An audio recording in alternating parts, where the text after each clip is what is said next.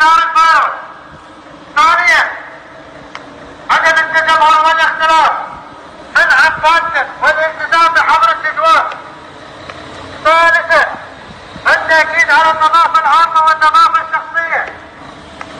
رابعا غسل اليدين باستمرار ولمدة عشرون ثانية خامسا التنفس